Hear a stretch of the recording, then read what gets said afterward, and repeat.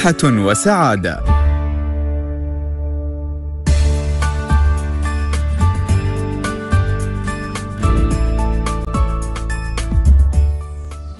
بسم الله الرحمن الرحيم والصلاة والسلام على أشرف المرسلين سيدنا محمد وعلى آله وصحبه أجمعين. اللهم اشرح لي صدري ويسر لي أمري واحلل عقدة من لساني يفقه قولي. السلام عليكم ورحمة الله وبركاته أعزائي المستمعين وحياكم الله معنا في حلقة جديدة من برنامج صحة وسعادة. برنامج صحة وسعادة تقدمه لكم هيئة الصحة بدبي بالتعاون مع مؤسسة دبي للإعلام وعبر إذاعة نور دبي وبالشراكة مع مستشفى الزهرة. هذا البرنامج يأتيكم ليكون نافذة مفتوحة على مؤسسات المجتمع وأفراده وساحة تفاعل ما بين جمهور المتعاملين مع طموحات الهيئة وتطلعاتها. نطرح في هذا البرنامج مختلف الموضوعات الطبية الحيوية التي تشغل بال الجميع. فأهلا وسهلا بكم. آه هذا محدثكم محمود يوسف يحييكم ومن الإخراج محمد الصفار ومن التنسيق الأخت أشواق مسعد وتحيات آه فريق الإعداد بقسم الإعلام بإدارة الاتصال والتسويق المؤسسي في هيئة الصحة بدبي. كل الأمنيات بأن تكون هذه الحلقة خفيفة ومميزة فيها المعلومة التي آه يعني تهمكم جميعا. عموما نستهل حلقتنا بسلسلتنا الإخبارية لهذا اليوم. نبدأها بخبر يقول طبية دبي تعتمد 2627 طلب تصريح مواقف لذوي الإعاقة حيث اعتمدت اللجنة الطبية العامة بدبي منذ عام 2009 حتى نهاية العام الماضي. 2627 طلب تصريح مواقف لذوي الإعاقة توزعت على مختلف فئات الإعاقة. إذا آه سلطنا الضوء. كذلك نحن على هذا الموضوع في آه حلقات سابقة تقريبا من يومين أو ثلاثة أيام تكلمنا عن هذا الموضوع بشكل مفصل. أيضا هنالك خبر آه يعني لمحبي الشوكلت الكاكاو. يقول عنوان الخبر الشوكولاتة تحسن عملية الإدراك في الدماغ حيث اكتشف العلماء أن الأشخاص الذين يتناولون الشوكولاتة مرة واحدة في الأسبوع على الأقل يحلون المسائل الفكرية أفضل من الآخرين الذين لا يتناولونها أصلا. وقيم العلماء قدرة المشتركين في الدراسة على اختيار الاتجاه الصحيح في المكان وقيموا كذلك ذاكرتهم العلمية القدرة على التعامل مع المعلومات وذاكرتهم اللفظية القدرة على تذكر الكلمات وقدرتهم على التركيز في مواضيع معينة بغية التوصل على ضوء الأجوبة التي أعطاها كل منهم إلى النتائج المرجوة. فاكتشف الباحثون أن الذين يتناولون الشوكولاتة مرة واحدة في الأسبوع كانوا أفضل في حل المسائل الفكرية مقارنة بالذين لا يتناولونها ولم تتغير هذه النتيجة عندما أخذ العلماء في الحسبان العمر والجنس ومستوى التعليم ومستوى ضغط الدم ومستوى الكوليسترول والسكر في الدم وتناول المشروبات الكحولية وكمية السعرات الحرارية التي يحصل عليها أسبوعيا كل من المشاركين. أيضا في خبر يقول الخل لعلاج التهاب القولون التقرحي حيث يساعد الخل على علاج أمراض الجهاز الهضمي المختلفة ومن بينها التهاب القولون التقرحي بفضل حموضته المرتفعة. فقد اتضح لعلماء الصين من نتائج الاختبارات التي أجروها على الفئران المخبرية أنه يمكن استخدام الخل بنجاح في علاج اضطرابات وأمراض الجهاز الهضمي ومن ضمنها التهاب القولون التقرحي بفضل حموضته العالية. والتهاب القولون التقرحي هو التهاب غشاء القولون وظهور تقرحات تسببها بكتيريا معينة في الأمعاء ويؤكد العلماء أن إعطاء الخل للفئران المخبرية أدى إلى زيادة عدد البكتيريا المفيدة للجهاز الهضمي وإلى علاج التهاب القولون التقرحي إضافة لهذا تبين أن استخدام الخل في العلاج يخفض مستوى البروتينات الضارة.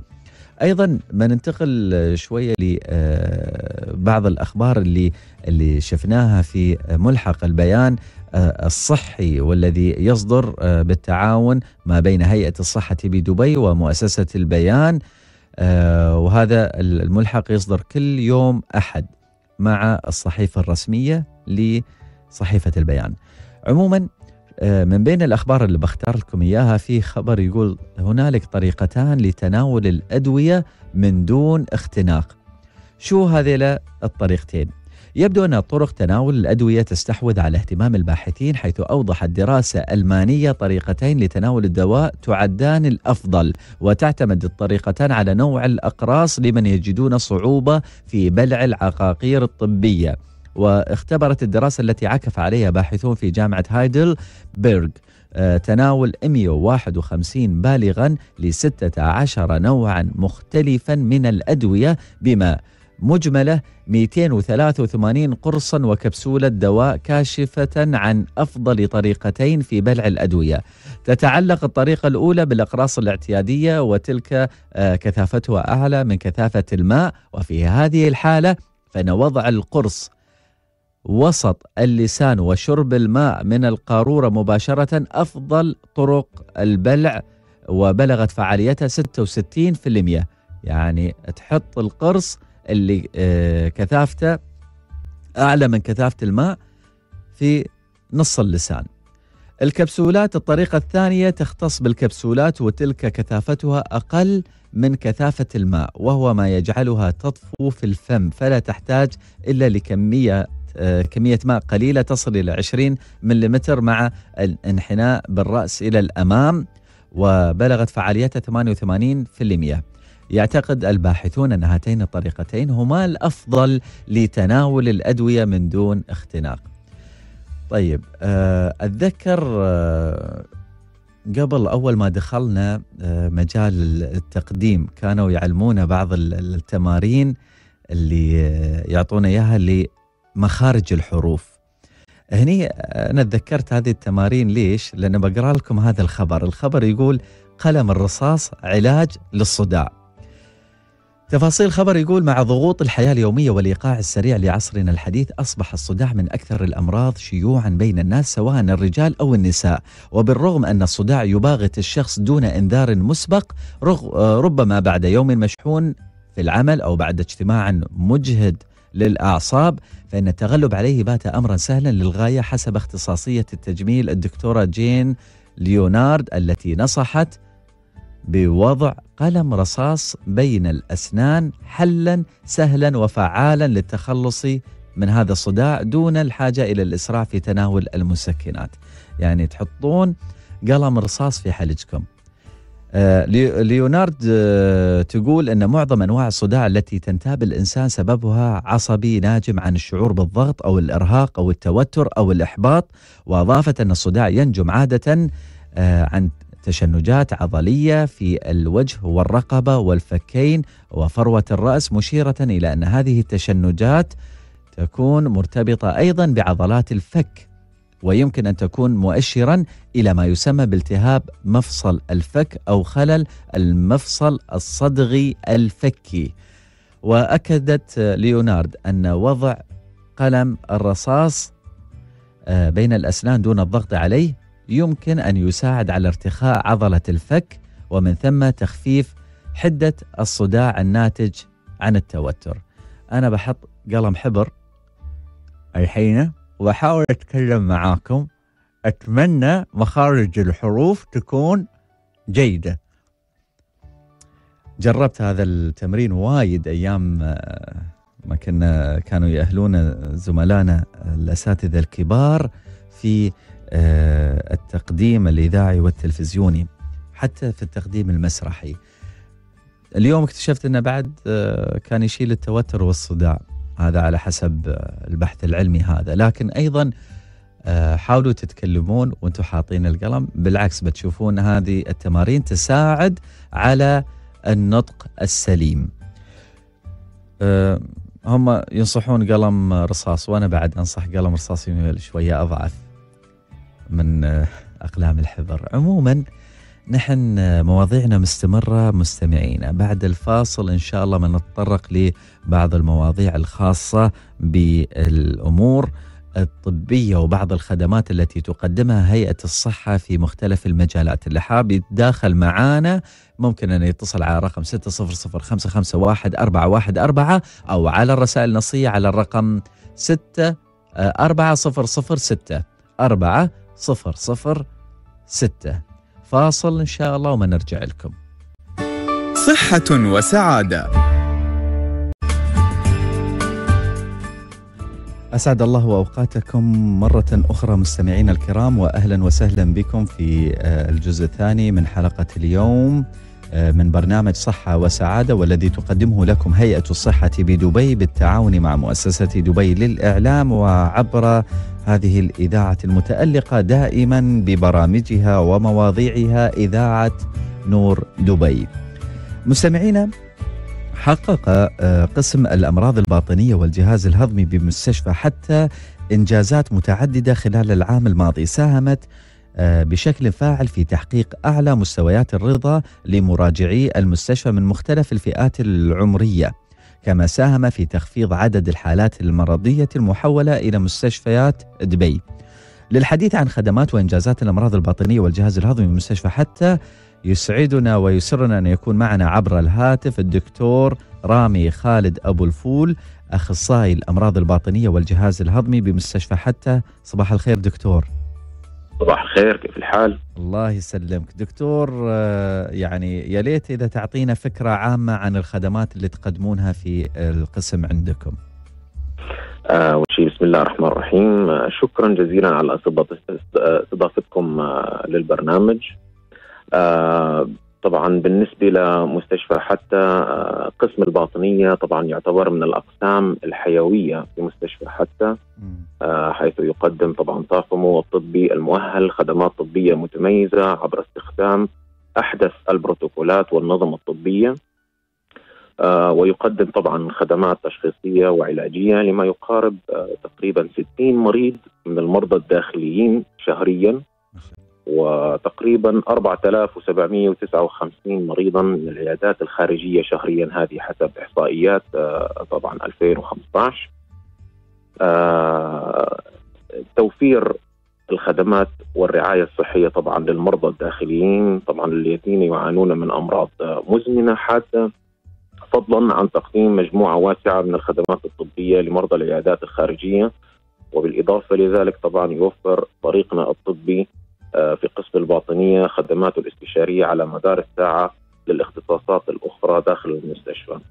جميل. آه إحنا عندنا طبعا آه، عيادات فرعية في المستشفى حتى تم افتتاحها منها عيادة الباطنية عيادة الجهاز الهضمي عيادة الروماتيزم وعيادة السكري وعيادة القلب وعيادة السمنة. جميل. هذه تم استحداثها مؤخرا دكتور؟ آه، نعم اللي تم استحداثها مؤخرا هي عيادة طبعا السمنة بتركيز يعني على آه، الطب الوقائي أكثر من العلاجي لأنه في عندنا نسبة كبيرة آه، من المرضى يعانون من السمنة. طبعا إحنا في مستشفى حتى من أحد الإنجازات اللي إحنا سويناها إنه إحنا أطلقنا مؤتمر آه، آه، السكري والسمنة العام الماضي في شهر 11 آه، طبعا كانت أول مؤتمر يطلع من مستشفى حتى. طبعا كان المؤتمر يهدف يعني إلى التوعية وتدريب الكادر الطبي بكورسات كانت موجودة في المؤتمر. طيب آه، آه، دكتور آه، أنواع الحالات المرضية اللي تراجع القسم عندكم؟ والله إحنا عندنا طبعا مختلف أنواع الأمراض الباطنية طبعا بما يشمل فيها أمراض القلب المزمنة أمراض السكري عدم انتظام السكر لبعض المرضى طبعا المرضى الأمراض الجهاز التنفسي والتهابات الجهاز التنفسي. بعض الأمراض الجهاز الهضمي منها أمراض القولون التقرحي آه، وطبعا آه، أمراض الكبد منها الكبد الوبائي بي وسي وتليف الكبد طبعا اللي كانت تدخل عندنا في المستشفى. بعض كمان التحويلات اللي بتجينا من الأقسام الأخرى من قسم الأقسام الثانية من قسم العظام آه، قسم الجراحة اللي إحنا طبعا بنغطيها كباطنية وبنساعدهم طبعا آه، كله لصالح آه، المريض. جميل، دكتور أنا تحدثت آه، في البداية إن ال- الإنجازات اللي تحققت في مستشفى حتى آه، ساهمت كذلك في تخفيف الضغط على باقي مستشفيات آه، أو عدد الحالات المرضية اللي كانت تحول إلى مستشفيات آه، دبي. هنا أبغى أسأل عن دور القسم آه، عندكم في تقليل عدد الحالات المرضية المحولة لباقي مستشفيات دبي.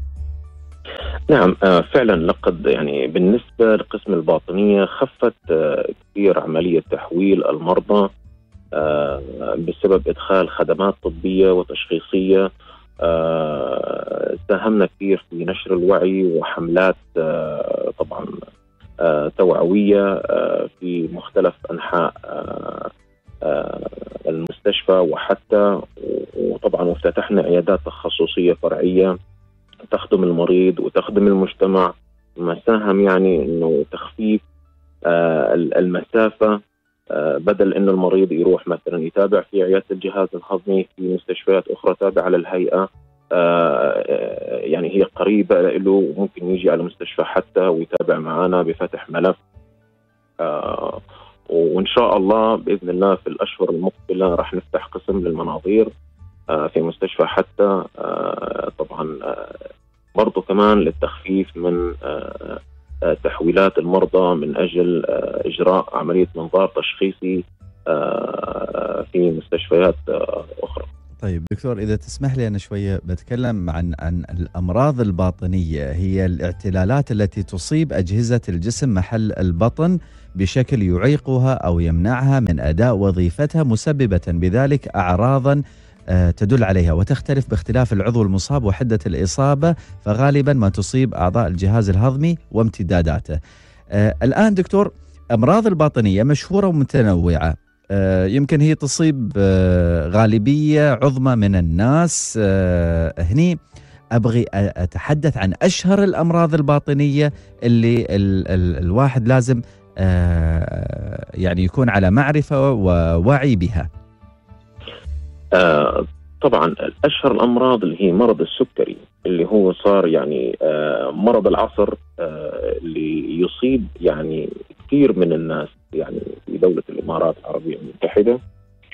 آه، طبعا إحنا دورنا آه، في مستشفى حتى هي التوعية ومتابعة المرضى آه، بإعطائهم بعد كمان أجهزة جهاز قياس السكر آه، طبعا آه، آه، اللي يتابع حالته كمان في البيت ويجيب لنا قراءاته وفي ال- ال- العيادة طبعا ونتابع حالته ونشوف هل أدوية السكر هي ملائمة له أو آه، يجب تغييرها أو إضافتها حسب طبعا كل مريض واحتياجاته. نعم. والمرض الثاني اللي هو بعد السكري اللي ممكن أعتبره اللي هو آه، السمنة.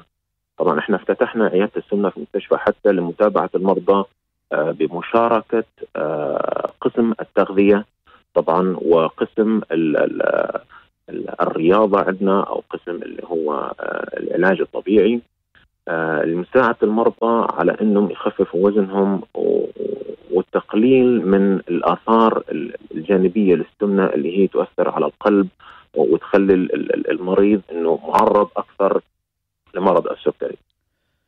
طيب آه، دكتور في سؤال يقول ما هي ال- الاختبارات التي تجرى لفحص الجهاز الهضمي؟ آه عندنا حاليا في مستشفى حتى آه آه قسم المناظير اللي حيفتحوه. لكن حاليا إحنا ما عندنا يعني أي آه شيء يعني ل آه، نظارة مثلا أو شيء إنه نقدر يعني نعمل علاج تشخيصي تشخيصي لل- للمرضى. كما سبق وأنا قلت يعني إنه راح نفتح قسم المناظير لحتى نخفف المشوار على المريض. إلى مستشفى مستشفيات أخرى آه، في دبي. طيب أنا أتكلم بشكل عام دكتور يعني الآن ال ال ال ال ال الأمور اللي اللي يحتاجها آه الشخص ان إن لازم يسويها على أساس إنه أول شيء آه آه نعزز موضوع الوقاية عنده والوعي ثاني شيء إذا كان مصاب أو حاس ببعض الأشياء شو المف... شو المفروض يسوي؟ بشكل عام أنا ما أتكلم الآن آه، فقط على المستشفى حتى لا أنا أتكلم عن المريض بشكل عام. فشو شو المفروض يسوي ال- ال- ال- المستمع على أساس انه يقي نفسه من أمراض الجهاز الهضمي؟ آه طبعا إذا طبعا أي عوارض آه للجهاز الهضمي من من إعياء أو ألم في البطن، ألم في المعدة بالذات بعد الأكل أو يصيبه مثلا اسهال أو آه إمساك مزمن. آه يعني يجب عليه يعني إنه ياخذ آه موعد ويجي على عياده الجهاز الهضمي للمتابعة ولتشخيص حالته. آه بالذات في مرضى كثير يعانون يعني من نفخة وحموضة. زي ممكن يكون سببها بكتيريا المعده يمكن إنه آه يعني بتست آه معين في عندنا في المستشفى عن طريق الدم أو عن طريق البراز إنه نشخص حالته إذا كان عنده آه الجرثومة هذه ونعطيه العلاج اللازم ومتابعة طبعا خلوه من هذه الجرثومة جرثومة المعدة اللي ممكن تسبب آلام معدة أو حموضة أو نفخه أو إلى آخره. طبعا المريض يعني أي عوارض آه يتعرض لها يستشير الطبيب فيها آه للعلم أو ل إجراء اختبارات معينة. ممكن يعني إنه يكون علاجها يعني يعني بسيط أو تغيير نمط الحياة أو تعديل الأكل اللي هو بيسموه الدايت فهذه كلها طبعا إحنا ننصح المرضى دائما إنه أي عوارض يتعرضوا لها يزوروا الطبيب ويعملوا فحوصات اللازمه. دكتور هنالك أسئلة تتحدث عن القرحة قرحة المعدة يا ليت إذا إذا ممكن نعرفها للمستمعين ما هي القرحة وما هي ال ال ال الأمور اللي اللي, اللي نحتاج إن نحن نسويها للوقاية من هذه الأمراض.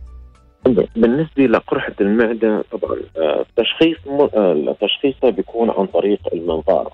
قرحة المعدة أو قرحة الاثنى عشر بتكون طبعا لها عوارض. الأكل بعد الأكل طبعا يحس المريض إنه في عنده ألم شديد. ممكن يكون ألم أول أول ما يأكل أو الألم يكون بعد نص ساعة من الأكل. طبعا والالم هذا ممكن يصحيه ألم المعدة ممكن يصحيه من النوم بألم شديد وبسبب قلة الأكل المريض يخاف إنه يأكل فممكن ينزل وزنه بسبب يعني خوفه إنه يصير عنده ألم لما يأكل. فهذه الأعراض اللي ممكن نقول عنها عن طريق يعني الأسئلة اللي ممكن نسألها للمريض إنه ممكن يكون عنده قرحة للمعدة أو الاثنى عشر. طبعا وتشخيصه زي ما أنا قلت إنه بيكون عن طريق المنظار. زين ممكن ناخذ خزعات منها. آه طبعا آه ونوديها المختبر ونشوف شو طبيعة هذه القرحة. إذا كانت في المعدة. أما إذا كانت في الاثنى عشر آه طبعا فغالبيتها بتكون حميد وتحتاج فقط ل علاج بكتيريا ال Helicobacter pylori لأنه هي السبب الرئيسي لظهور هذه القرحات في المعده. طيب دكتور سؤال يقول أنا أعاني من غازات شديدة في البطن وما وليس عندي علم بكيفية التخلص منها.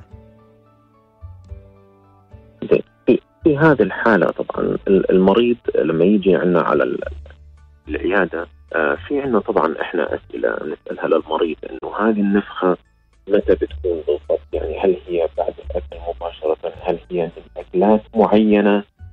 آه في بعض الناس يعني بعض الأكلات آه اللي هي البقوليات بشكل عام أو الألبان آه ممكن تسبب له هذه النفخة هل في لها آه عوارض هل في عوارض أخرى آه لهذه النفخة هل في آه آلام في أسفل البطن؟ هل آه مصحوبة بحرقة في المعدة؟ أو حرقة مثلا حموضة تطلع في المريء؟ طيب دكتور بشكل عام غازات البطن شو هي طرق العلاج لها؟ في بعض الأدوية ما هو إذا كانت مصحوبة بارتجاع مريئي ممكن يكون سببها جرثومة المعدة ممكن يكون إذا كانت مصحوبة بامساك أو إسهال مع الام في البطن ممكن تكون القولون العصبي فعلاجها طبعا يختلف. في بعض الأدوية اللي هي ممكن يعني تساعد في تقليل هذه النفخة والابتعاد عن الأكل اللي هو ممكن له هذه النفخة. وفي طبعا بعض الفحوصات اللي هي فحص اللاكتوز اللي ممكن أو القولون العصبي بشكل عام. طيب دكتور أنا أتذكر آه، معلومة كانت آه، تقول ما أدري إذا هذه معلومة يعني حقيقة علمية ولا لا. آه، يقول إن الشخص السليم يطلق غازات بمعدل 14 إلى 25 مرة يوميا.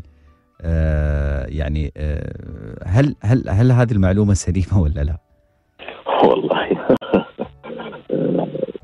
والله الصراحة أنا ما ما يعني ما ما عندي إلمام يعني إنه 14 ل 25 ما في عدد معين يعني إنه حسب إنسان يمكن حسب حجمه وحسب آه، في ناس عندها مثلا آه، الأمعاء بتكون متهيجة ممكن الغازات تطلع منه أكثر من من 25 في ناس لا ممكن يكون أقل مثلا من 14 ممتاز. طيب اذا آه، إذا إذا إذا ما تكلمنا عن الأسباب المؤدية لتجمع الغازات مثل ما ذكر الدكتور هي أنواع الأغذية. آه، نعم. آه، أيضا آه، ممكن تكون منها الإفراط في الأكل تناول المشروبات الغازية على دفعات كبيرة نعم زين طيب في أسباب ثانية هو الغازات أنا زي ما أنا قلت إنه أحد أسباب يعني مرض القولون العصبي اللي ممكن يسبب الغازات هذه أو جرثومة المعدة اللي ممكن كمان تسبب الغازات. جميل جميل. اذا دكتور رامي خالد أبو الفول أخصائي الأمراض الباطنية والجهاز الهضمي مستشفى حتى. نحن شاكرين لك تواجدك معنا وشاكرين لك الرد على استفسارات الجمهور كذلك ونتمنى لكم التوفيق في جميع الفعاليات اللي تقومون فيها في مستشفى حتى في جميع الأقسام. شكرا جزيلا لك يا دكتور. شكرا شكرا بارك الله فيك شكرا. اذا كان معنا دكتور رامي خالد أخصائي الأمراض الباطنية والجهاز الهضمي بمستشفى حتى. عموما آه، مستمعينا أيضا هنالك العديد من الخطط المستقبلية لفتح المزيد من التخصصات لخدمة آه، منطقه حتى ضمن مستشفى حتى آه، يعني ذلك يعني ضمن التوجهات التي تطرحها الهيئة في دعم جميع مستشفياتها بمختلف الكوادر الطبية والكفاءات القادرة على تقديم المستوى الصحي المناسب لجميع المتعاملين مع الهيئة. عموما بعد الفاصل نحن ما ننتقل إلى العيادة الذكية بنشوف شو في عندهم هناك وشو الموضوع اللي طارحينه فابقوا معنا ولا تذهبوا بعيدا. صحة وسعادة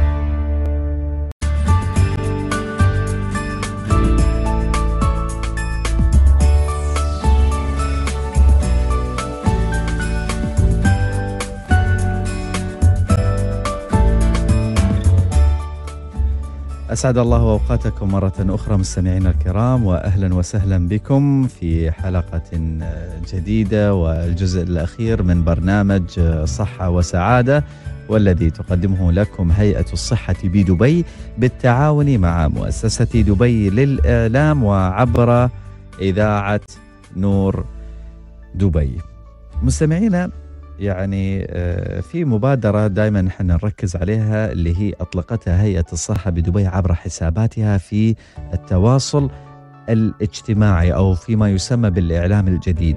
هذه المبادرة هي العيادة الذكية. العيادة الذكية اليوم تناقش آه، آه، موضوع العمليات الجراحية والتخدير تزامنا مع فعاليات الدورة التاسعة لمؤتمر ومعرض دبي الدولي للتخدير آه، والتي تنطلق فعالياته اليوم تحت رعاية كريمة من سمو الشيخ حمدان بن راشد آل مكتوم. نائب حاكم دبي وزير المالية رئيس هيئة الصحة بدبي وذلك في مجمع محمد بن راشد الأكاديمي الطبي في مدينة دبي الطبية. نحن نتحدث عن هذا الموضوع من خلال استضافتنا عبر الهاتف آه، من العيادة الذكية الدكتور شريف محمود أخصائي أول تخدير وعناية مركزة بمستشفى لطيفة. صباح الخير دكتور. صباح الخير بحضرتك أهلا وسهلا. تعبتنا ليه ما وصلنا لك يا دكتور؟ اسفين كنا على ال- التويتر. معلش. إي والله أنا أنا بس أحب أذكر المستمعين بأن العيادة مستمرة. نحن طلعنا الدكتور من العيادة. العيادة ممكن تتابعونها كذلك على حسابات الهيئة اللي هي DHA underscore دبي أو من خلال الوسم العيادة الذكية أو hashtag smart clinic وأيضا بتشوفون فيها ومضات كذلك من خلال حسابات الهيئة اللي تحت نفس ال ال ال ال ال الاسم DHA underscore دبي في الإنستغرام.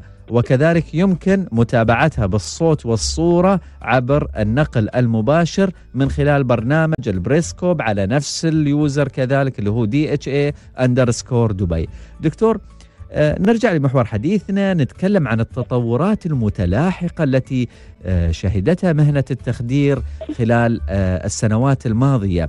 ممكن يعني ناخذ أول شيء آه، نعرف المستمع عن آه، تخصص التخدير وأهميته والتطورات اللي شهدها.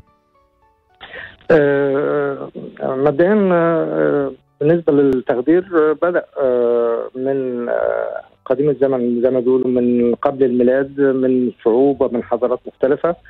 آه، تطور مع الزمن ووصل آه، في آه، القرن الثامن عشر. حتى بدأ مع جون سنو or the father of أب أو والد التخدير العالم جون سنو. ثم آه، بدأ التطور والتحديث عن طريق التقدم في التكنولوجي والتقدم في ال- الدراسات والأبحاث العلمية. آه، التخدير بيعني بتقديم آه، خدمة آه، للمريض آه، آه، المقبل على إجراء عملية جراحية وهو آه، آه، عدم إحساسه بالألم عدم آه، إحساسه بإجراء العملية آه، ضمان وجود آه، مسكن قوي ومسكن فعال ليه اثناء العملية وما بعد العملية. آه، آه، ضمان آه، الحفاظ على آه، آه، سلامة الأجهزة الحيوية والحفاظ على آه، كل ما ما يهم من آه، بما فيها النواحي الاجتماعية والنواحي الأسرية وبياخذ في الاعتبار أيضا آه، وضع آه، حالة آه، كاملة وصورة كاملة للمريض من قبل إجراء العملية واثناءها وبعد العملية. التطور اللي شهده التخدير ال- في السنين السابقة كان بيشمل آه، ظهور آه، آه، أبحاث ودراسات مبنية على إحصائيات من كل مختلف دول العالم بتؤدي لوجود نوع من ال evidence أو آه، توافق إجماعي على آه، استخدام آه، أدوية معينة أو استخدام آه، تكنيك معين لإجراء التخدير للمريض لضمان سلامة والحفاظ على حياة المريض أثناء العملية وما بعد العملية. جميل طيب دكتور شو هي أنواع التخدير؟ نحن نعرف تخدير موضعي تخدير عام في أنواع مختلفة يعني في هذا التخدير ده صحيح. آه، بينقسم التخدير لتخدير عام وتخدير موضعي. التخدير العام وهو يتمثل في آه، آه، إعطاء أدوية بي- بي- بيكون فيها المريض منوم تنويم كامل. ال- البنج الموضعي أو التخدير الموضعي آه، بيتم عن طريق مختلف التقنيات عن طريق ابره إبر بتعطى في الظهر وده أنا بتكلم ببساطة بس علشان نوصل كل الصورة الابر الإبرة اللي بتتم في الظهر دي في منها آه، إبرة عادية وفي منها إبر بتتم آه، دخول قسطره آه، للظهر وده بيتم آه، بيها تخدير موضعي لمكان معين لإجراء عملية معينة. آه، بعض ال- الأماكن آه، زي الأطراف من القدمين أو الساقين عند إجراء عملية آه، آه، يمكن آه، تخدير موضعي آه، لعصب واحد. وده من من اخر التقنيات اللي موجودة حاليا. هو آه، استخدام ال- ال ultrasound أو الموجات فوق الصوتية لتحديد آه، العصب في ال- اليد أو في الذراع أو في الساق لاعطاء هذا العصب آه، تخدير موضعي بحيث يتم إجراء عملية معينة في آه، نفس المكان ال- التخدير وده بيحتفظ فيه ال- المريض بكل حيوية وعمل الأجهزة الكاملة من المخ إلى القلب إلى التنفس. كل آه، هذا العمل بي- بيكون طبيعي. آه، لا ولا ولا يشعر المريض بأي آه، ألم أثناء العملية جميل. دكتور يعني إذا إذا سألنا ما هي محاسن أو مساوئ كل طريقة في التخدير. فشو ممكن نقول يعني؟ آه، بيتم اختيار آه، طريقة التخدير سواء التخدير العام أو التخدير الموضعي بناء على آه، ال- المريض الصحية. بتعتمد أيضا على نوع العملية الجراحية اللي سيتم إجراءها. عند تحديد آه، خطة التخدير آه، قبل العملية بتتم ما بين طبيب التخدير وطبيب الجراحة والمريض. آه، بيتم وضع آه، آه، ديسكشن أو آه، نقاش كامل لما هي فوائد هذه الطريقة والأعراض الجانبية. آه، لو قلنا بس فوائد ال- ال- التخدير ال- الموضعي أكثر من آه، فوائد التخدير العام فده بيبقى نوع من العمومية أو شمولية بمعنى إن إحنا ما بنقدرش نحدد آه، ككلام مرسل. لكن حسب كل حاله المريض نفسها وحسب ال- العملية الجراحية يقال إن هذا أفضل طريق.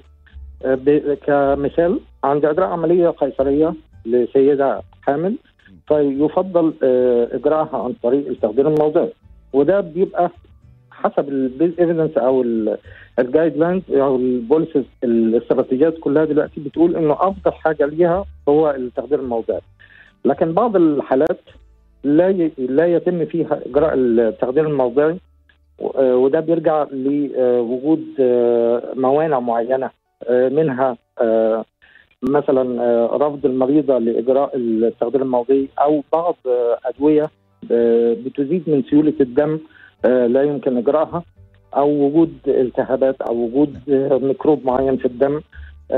كل ده بيمنع من آه، دكتور, إعطاء المريض. دكتور هنا هنا أنا أبغي أبغي أسأل يعني كيف يمكن للمريض أن يشارك في اختيار طريقة التخدير المناسبة آه، آه، لحالته، كيف إنه ممكن يشارك الطبيب كذلك في اتخاذ قرار آه، ال- ال- ال- ال- سؤال في منتهى الذكاء وجيد جدا هذا السؤال. بيتم آه، ده عن طريق آه، مقابلة ما بين المريض وبين طبيب التخدير في عيادة التخدير وبتتم قبل إجراء العملية. بيقوم طبيب التخدير بعرض كل أنواع التخدير إلى المريض بشرح وافي ومفصل وكافي لكل آه، آه، فوائد التخدير أعراض هذه الطريقة الآثار الجانبية الخطورة في هذه الطريقة. وبيقترح على المريض الطريقة الأنسب من وجهة نظر دكتور التخدير. بتتم المشاركة آه، آه، إن المريض بيكون على دراية بنسب ال- ال- الاستفادة بنسب الأعراض ال- الجانبية بنسب الخطورة آه، بي- بيتم تقييم كل هذا بناء على الخطة ال- ال- التي يتم وضعها قبل إتمام عملية أو إتمام عملية التخدير نفسه. جميل دكتور آه، هني آه، برجع أتحدث عن أقسام التخدير في مستشفيات الهيئة. يا ترى شو هي الإمكانيات والأجهزة المتوفرة عندكم؟ وأيضا آه، آه، تحدثنا عن عن مسألة احتساب كميات الجرعات التخدير المناسبة للمريض. تمام. آه، حاليا آه، بيوجد آه، على آه، مس- مستوى آه، آه، دبي الصحيه آه، مستشفيات متخصصة مثل مستشفى لطيفة فهي متخصصة في النساء والأطفال. آه، وعليه بيتم بيتم آه، استحداث كل آه، الأجهزة أو الأدوية. بيتم متابعة أحدث ما وصل إليه العلم من أجهزة أو من أدوية يمكن إعطائها من تقنيات يمكن إعطائها.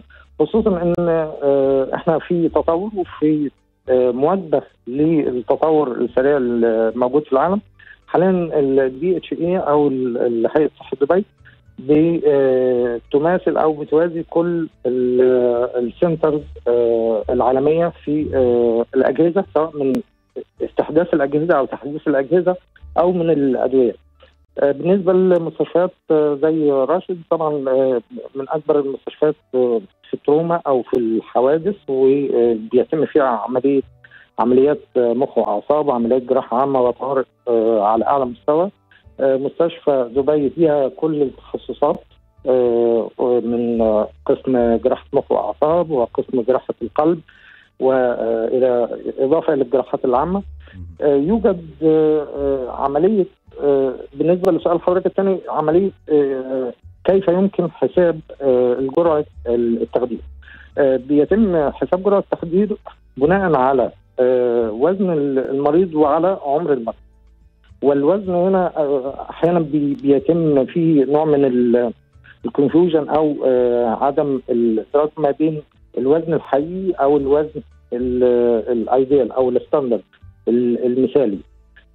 بيتم حساب جرعه التخدير على حسب الوزن المثالي وليس الوزن الكلي أو الوزن الحقيقي لأن بعض المرضى بيكونوا مصابين بأمراض سمنة وبيكون الوزن زائد. في الحالات اللي زي دي لما بياخد جرعات التخدير حسب الوزن بتاعه كل الجرعات اللي موجودة دي بتتخزن في نسبة الدهون اللي موجودة في الجسم. وبيبقى لها بعد كده آثار جانبية في إنها بتقلل من جميل. فرصة الافاءه على مدى قصير وبتزود من آه آه بتزود من نسب الخطورة أو نسب الأعراض الجانبية لها. واضح. دكتور شريف يعني كلمة أخيرة تبغي توجهها قبل ما نختم معك؟ بوجه حديثي لكل المستمعين بأنه التخدير حاليا زي ما بنقول الموبايل فريند و هو أصبح أيضا قسم محبب وقسم صديق لكل المرضى بما فيهم المرضى الجراحيين المرضى المقدمين على جراحه عملية جراحية. آه بيتم ده محبب إزاي يعني يا دكتور؟ يعني توزعون مخدرات ولا إيش؟ لا هو بنزيل كل الشكوك أو كل التخوفات من آه مسامع الساده المستمعين الكرام. لأنه أنت آه حضرتك عارف إنه في تخوف دايما كان بيبقى من التخدير والجرعات الزيادة والافاءه حاليا مع التطور اللي موجود مع الخبرات مع الأبحاث العلمية نعم. مؤتمر زي مؤتمر دبي للتخدير والمعرض اللي بدأ فعالياته اليوم بيعرض آخر الابحاث العلمية وده سنويا بي بيعقد هذا المعرض وبيتم فيه عرض أحدث الأبحاث واحدث الدراسات العلمية واللي بيتم تطبيقها في نفس اليوم في دبي بتدي نتيجة هايلة جدا للمريض. إحنا إن شاء الله بنحاول نسلط الضوء كذلك على مؤتمر ومعرض دبي الدولي للتخدير في القادم من الحلقات. دكتور شريف محمود أخصائي أول تخدير وعناية مركزة بمستشفى لطيفة. نحن شاكرين لك هذه المداخلة واسمح لنا طلعناك من العيادة الذكية. آه عفوا. شكرا عفواً. جزيلا دكتور. واللي يبغي يستفيد أكثر حول هذا الموضوع ممكن يتابع حسابات الهيئة DHA underscore دبي على تويتر أو عبر البريسكوب بالصوت والصورة وأيضا سوف تكون هنالك ومضات لهذه العيادة عبر حسابنا في الانستغرام. عموما مستمعينا وصلنا إلى ختام حلقتنا لليوم. نتمنى لكم إجازة نهاية أسبوع سعيدة. في الختام لا أملك إلا أن أتقدم بالشكر الجزيل لكل ضيوفي اللي شاركوني في هذه الحلقة ولكم مستمعينا على رسائلكم النصية اللي وصلتنا وكل الشكر لمخرجنا محمد الصفار. وفي التنسيق كانت معانا الأخت أشواق مسعد. وهذه تحياتي محدثكم محمود يوسف العلي. وحتى نلقاكم إن شاء الله مطلع الأسبوع القادم. نقول لكم دمتم بصحة وسعادة. صحة وسعادة بالتعاون مع هيئة الصحة بدبي.